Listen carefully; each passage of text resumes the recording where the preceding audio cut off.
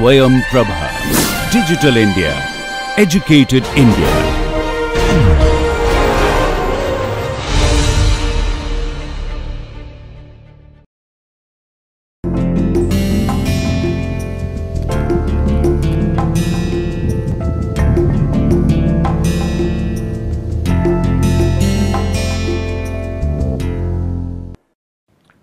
Yesterday night we in the last class we ended by writing down a very very very very important result regarding log barrier functions and this result is already on the screen as you can see.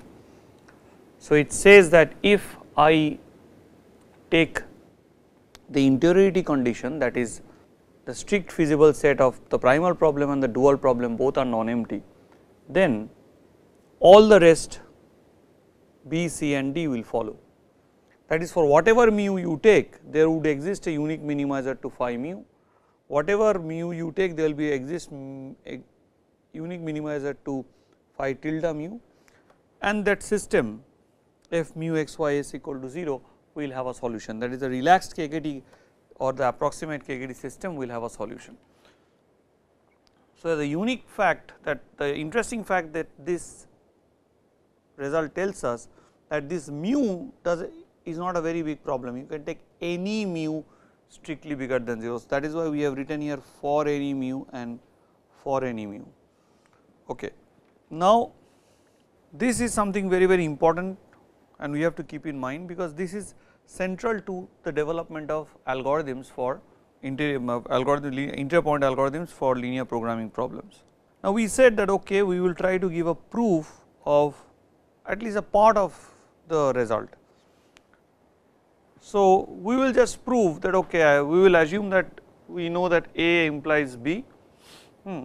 So, okay the interiority condition holds and so we will try to now show that if I have B I will have D and if I have D I will have B.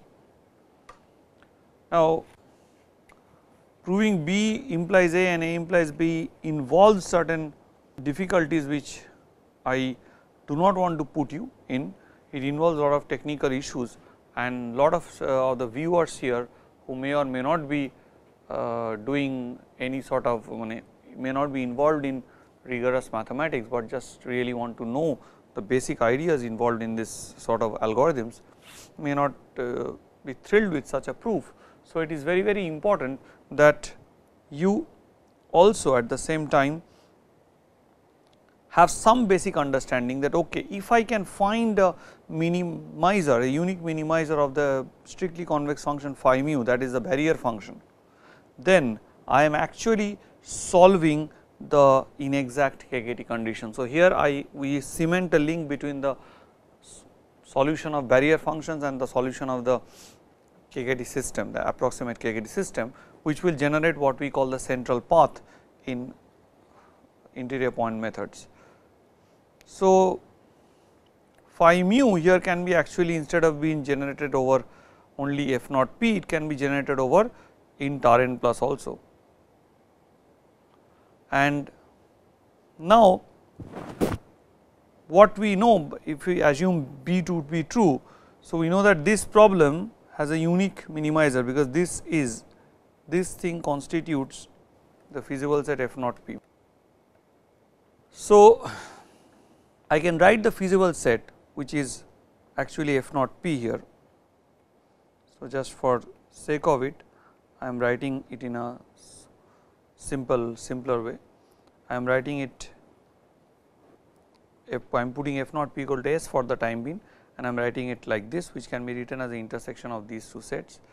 Since x bar is a unique minimizer then the optimality condition which is of course this optimality condition is an if and only if condition.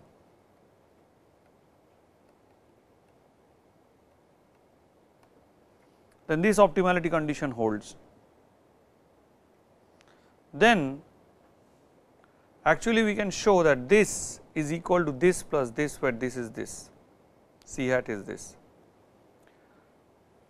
Now how do we show that we can write the indicator function of this as a sum of the indicator functions of these two sets and this indicator function is nothing but as you see is 0 when x is in S and plus infinity when x is not in S and this is what we have discussed earlier and you know that the sub differential of the indicator function will give you a normal cone and blah blah stuff and this is applying the sub differential sum rule.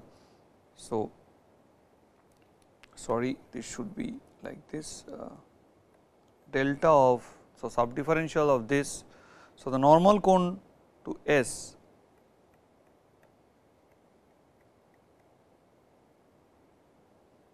delta of this and then the sum rule is applied. If you do not remember how a sum rule is applied, let me tell you that the delta function on R n plus plus, the domain of the delta function, the convex function is R n plus plus and it is continuous on R n plus plus and that is why you can actually do the sum rule, you have equality and then writing down this definition that the sub differential of a indicator function is a normal cone you have this, but this being an open set you can prove that if x bar is element of interior of some set say A then some convex set A then normal cone to A at x bar is nothing but the 0 vector. This has so it is a cone which is a trivial cone which consists just 0. Okay. So, this ns x bar is nothing but nc at x bar and nc at x bar we have studied earlier is nothing but the image of A transpose that is for any v in nc at x bar there, there exists y in Rm plus. Hmm.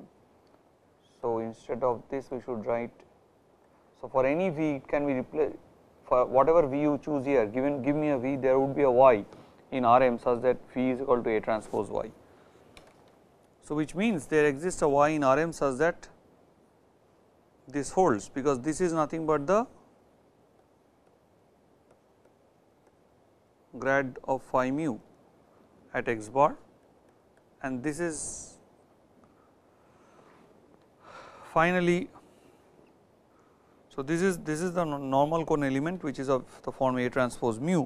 So instead of taking y I am taking just I am putting replacing y by minus y does not does not make much of a difference just for simplicity instead of y I have just put minus y does not matter you can say there is a minus y in Rm such that this holds.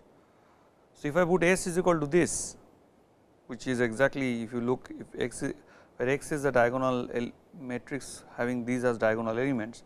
Now this x is in the interior because x is all these x 1s, x 2, x 3 these are all bigger than 0. So you can this definition mu of x inverse this is completely clearly defined. So this is nothing but the vector mu x 1 dot dot mu x n. So you are getting s 1 x 1 equal to mu s n s n equal to mu. So, you are basically solving this system that is required you are solving the system f mu x s f mu x y s equal to 0 and this is not giving you this and obviously you have a x equal to b because your solution set has to be a feasible point and also it satisfies this.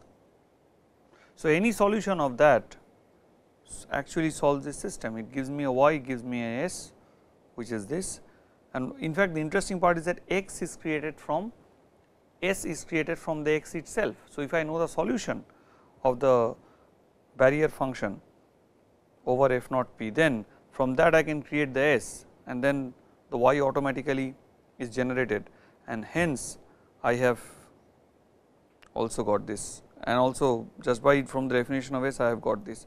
So, this is a relaxed KKT which is relaxed KKT.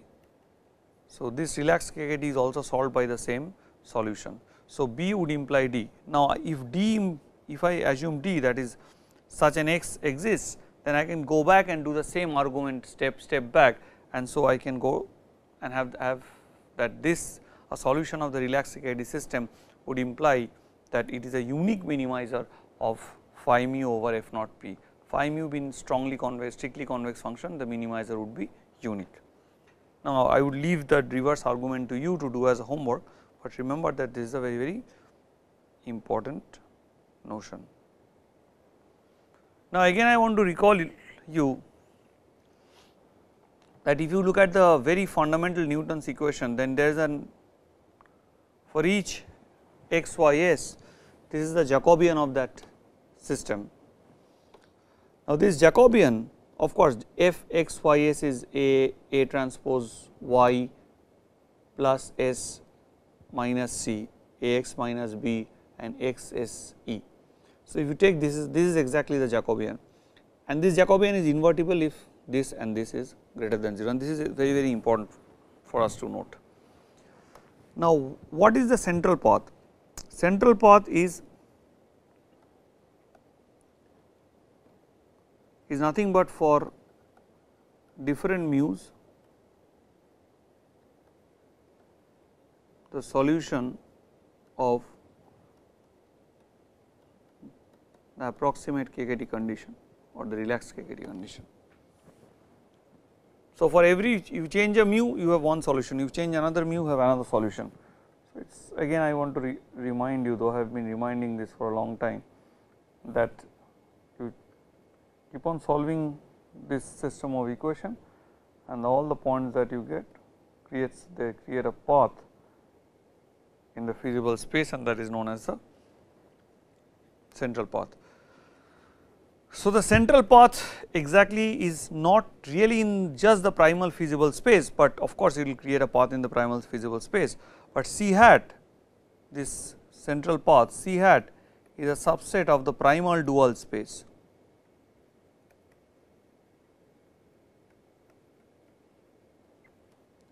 Now, if I take the x s space that is x into s space, I should write more as then if you project the central path on the x s space then what you have? X 1 s 1 equal to x 2 s 2 equal to x 3 s 3 equal to dot dot x n s n. So, this is exactly what you will have. You will have a straight line in the x s space. And this formalism of projecting the central path into the x s space has very very important uh, ramifications. When we will study for example, uh, three different types of uh, projection or three different types of methods, three different types of two or three different types of path following methods. Now, we will write down an example of computing the central path. You must remember that the central path is very very well defined, because once you have defined the interiority condition that there is a strict feasible solution, then immediately we know that whatever mu you take the f mu x y s equal to 0 has a solution and each of these solutions correspond to a path in the a point in the central path. So, you are taking the primal problem LP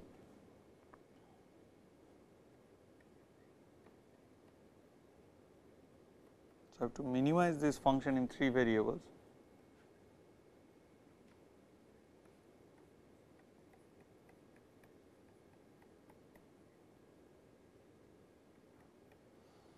of course, x is bigger than 0 basically this means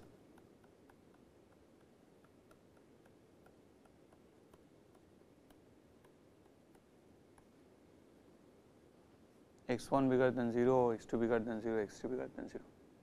So, for this problem I, I would like to find the central path.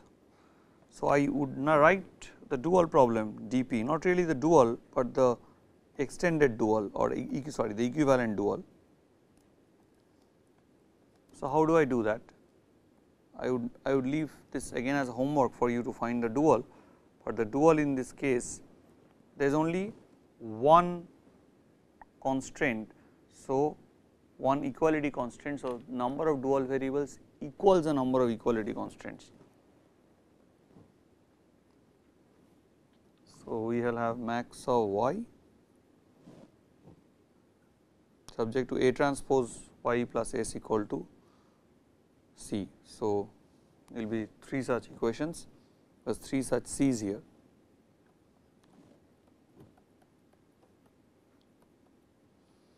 Here what is my A?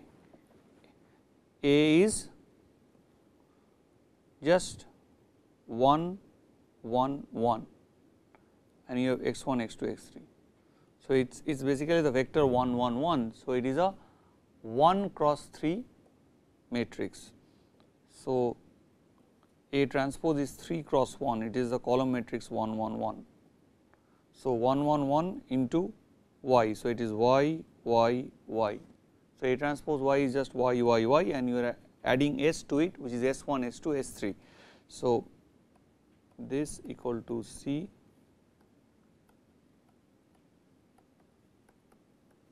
subject to S 1, S 2, S 3 bigger than 0.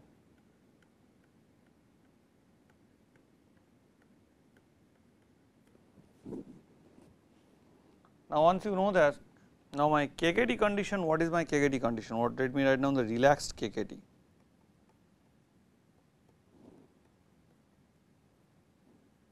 Relaxed KKT is this system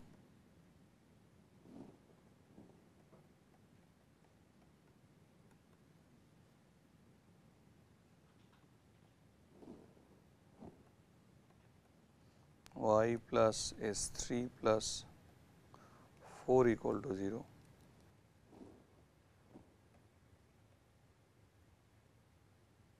x 1 s 1 equal to mu, x 2 s 2 equal to mu, x 3 s 3 equal to mu. This is my relaxed KKT. Of course, xi si is strictly bigger than 0 because mu is strictly bigger than 0, xi is strictly bigger than 0 and si is strictly bigger than 0 for i equal to 1 2 3. Now, what do you have from here let us take the calculation here. So, what do I have from this system? I would have S 1 is equal to minus 1 minus y 1, S 2 is equal to minus 3 minus y 2 S 3 is equal to minus 4 minus y 3 no sorry I am making a very bad mistake y y y y is same there is only one y. This is what you have. So, all of these would imply that y is strictly less than minus 4. Now, from this set of equations x 1 s 1 equal to mu, x 2 s 2 equal to mu and x 3 s 3 equal to mu, I will get the following expression.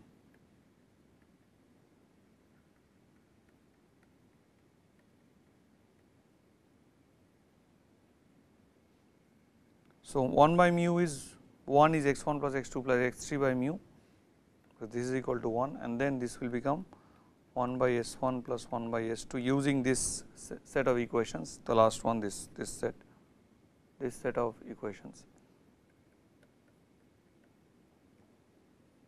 And this now you can put so mu is now uh, there is a relation between mu and y. So i can express y in terms of mu you see. Once i express y in terms of mu i can express s in terms of mu and hence i can express s in x in terms of mu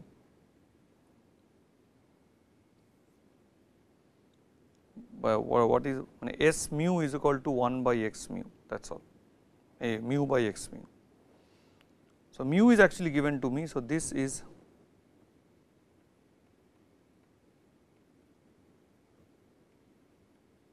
So, it is the cubic equation that you will have.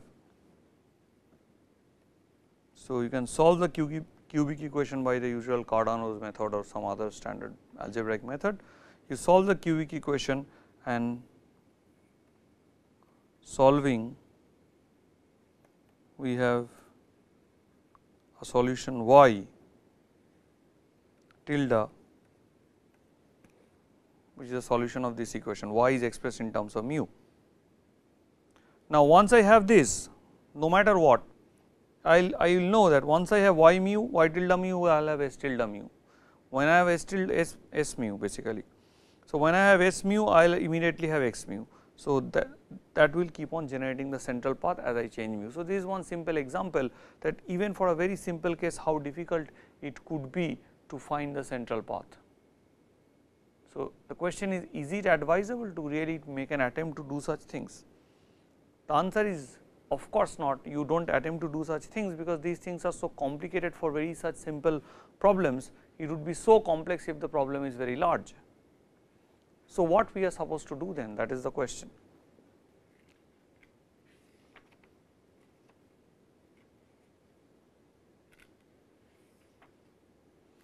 So, we have to go to the basic structure of the primal dual framework.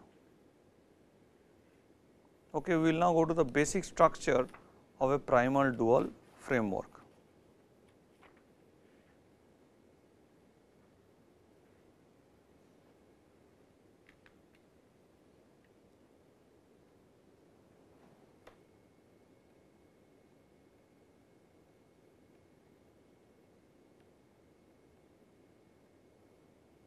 Basic structure of a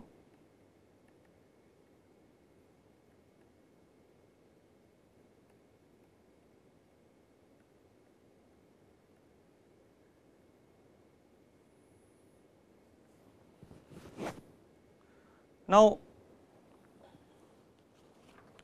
once I am talking about the basic structure of a primal dual framework, what we would have is the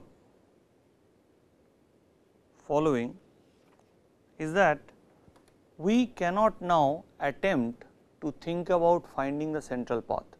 So, what we have to do? We have to do certain slight modification in our Newton system.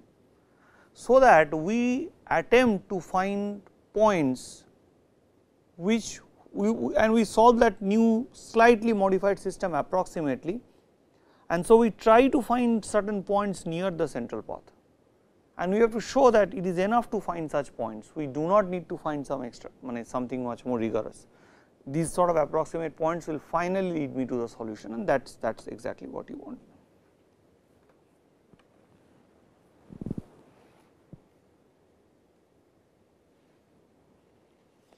So, in general given any x, y and s I do not know whether they are actually primal feasible or dual feasible. So, in general x, y, s is given which may or may not be feasible.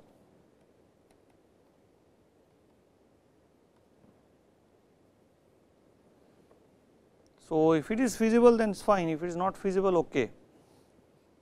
So, let us do the standard thing writing x k plus 1 y k plus 1 minus y k is delta y k. This is a standard sort of notations. Some books obviously make a little change. They write this as minus grad x does not matter. Just to adjust the minus in the Newtonian sign.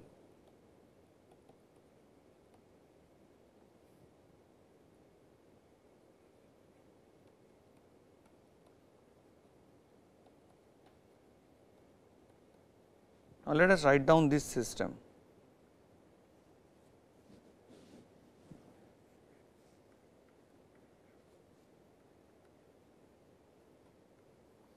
Unless they are feasible, we do not know whether this is 0. So, we can put this a dual residual that is it is not 0, but something else. So, we define it basically. The primal residual and the complementary residual.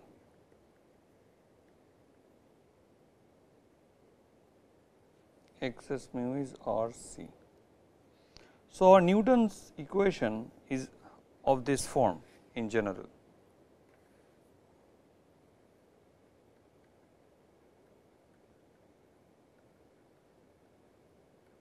or the Newton scheme rather I should say, if you are little bit of more erudite you will say it is a Newton scheme. In this particular case it will look as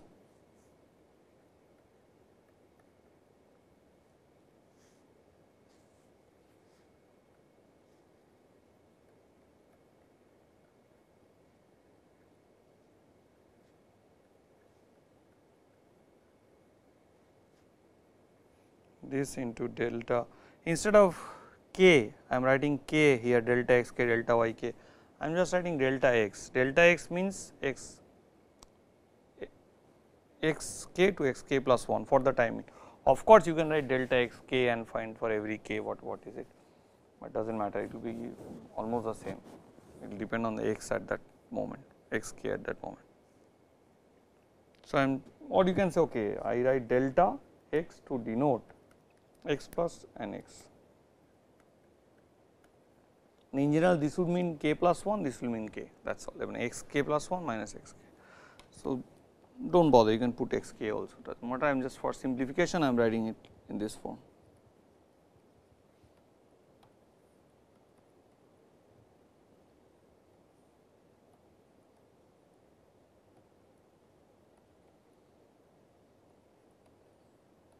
This is exactly my Newton scheme, but if all are 0 these two are 0 then 0 0 minus R c. Now, can this equation system of equations have a solution? Okay. I can slightly modify this equation. Now, because x and s is strictly bigger than 0, because when we start our basic structuring an assumption which is standard is that the interiority point condition hold.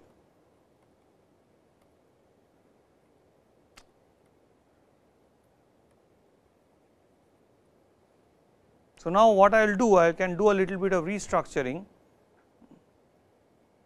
So, I will multiply this row block row by S inverse. So, what you will have here is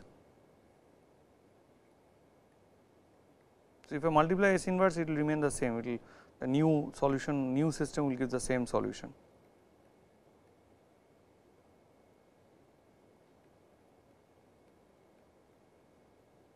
X by s basically.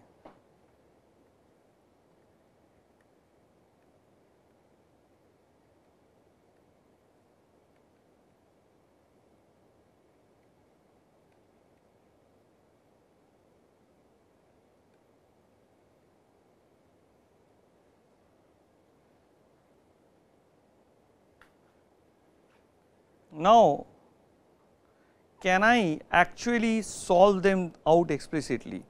Can we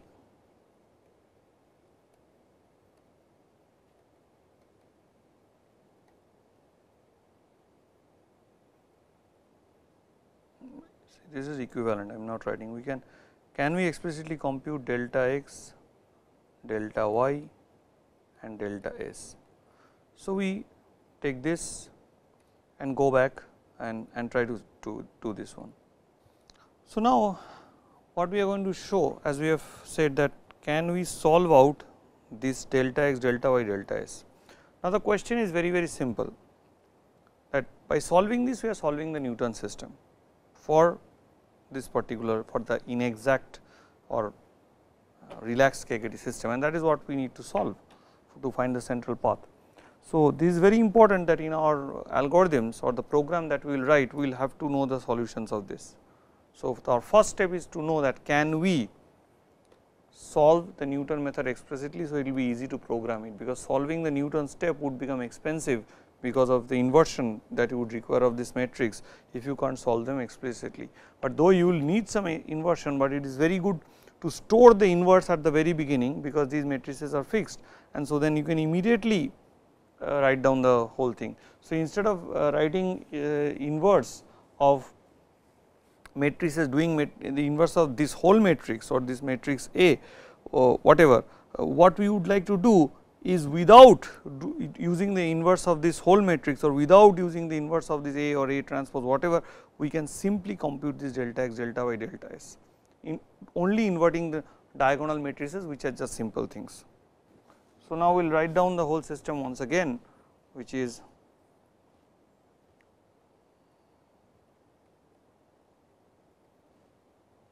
So, we will do the step by step computation now.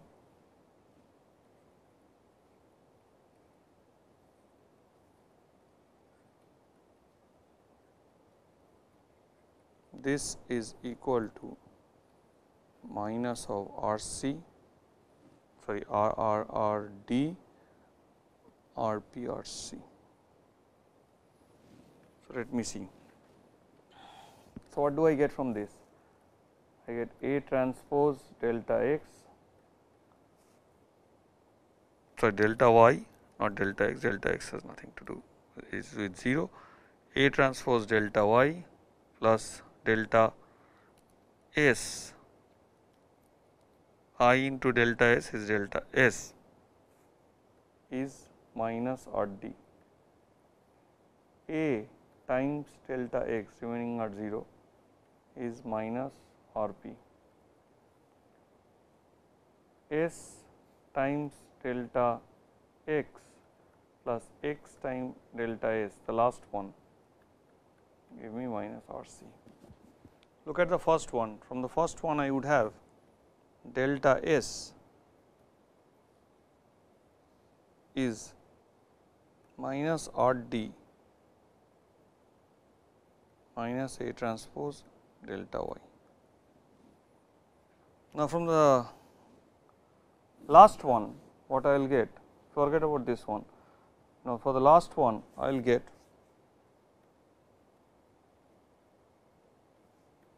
S inverse minus R C minus x delta S. So, what was R C? R C was just again reminding you R C was x s mu e.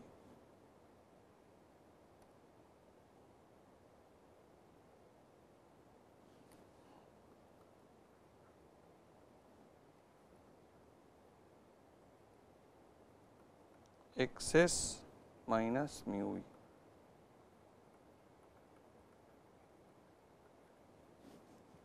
So, what would be done? X and s would commute. These are diagonal matrices. And so you will have minus x plus s inverse of mu mu would come out and s inverse of e. So, it will become S 1 S 2 S 3. So, mu 1 S 1 mu 1 S 2 mu so, or you can just write mu S inverse E minus x S inverse S inverse x and S they will commute as diagonal matrices delta S. So, this is what is delta x I have got right. Now, I will substitute these delta x into this equation. So, I will get delta S from there. So, putting this putting delta x in the second equation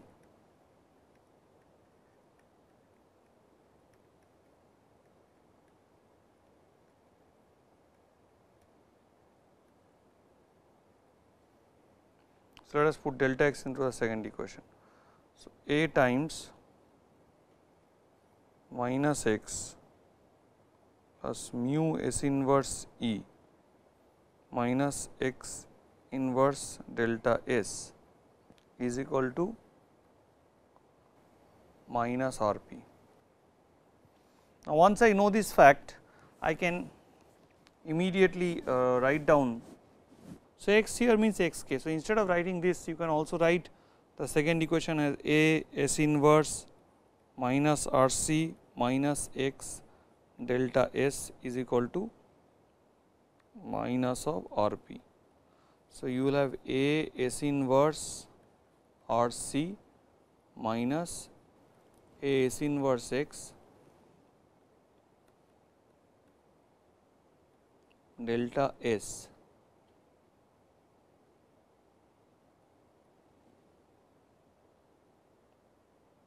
is equal to minus R p. Now, delta S you know from here there is something so, you can write A S inverse R C minus A S inverse x into delta S is minus R D minus A transpose delta y. This will give you minus R P. Now, A S inverse R C minus A S inverse x minus minus plus R D minus minus again plus A S inverse x A transpose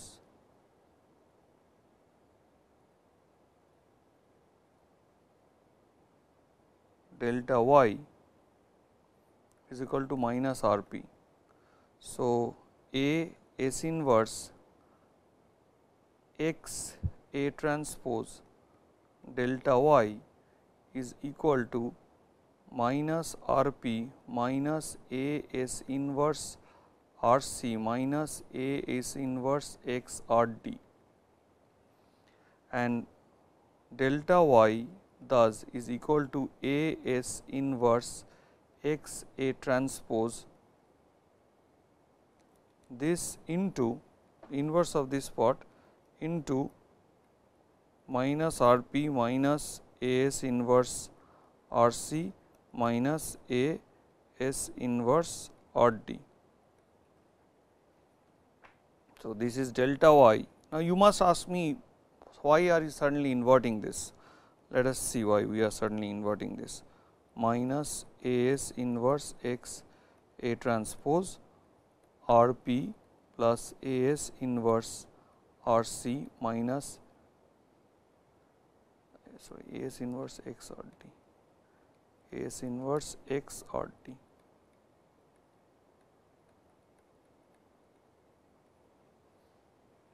Now, why this inversion is done here? Because this matrix is positive definite. Now, how do you prove that this is positive definite? So, very important thing to note here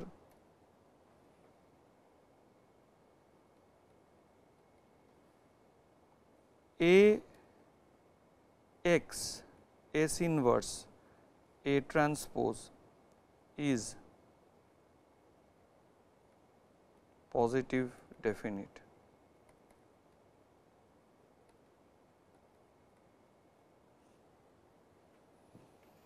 Let us see what happens with x A x S inverse A transpose x.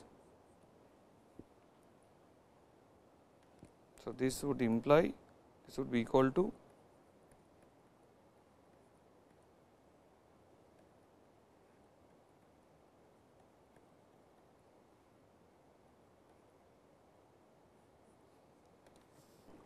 some some x x in as per the symbol. So, if you take the inner product how would you say that this A is full rank. So, how do you take take care of x s inverse that is the whole thing.